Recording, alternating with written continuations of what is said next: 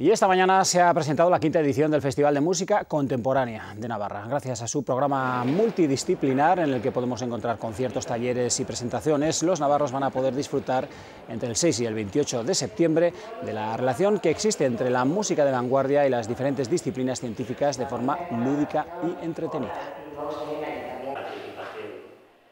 Se trata de un evento cultural que trata de promover iniciativas que permiten, por un lado, el estreno y difusión de, obras de música contemporánea en nuestra ciudad y en nuestra comunidad,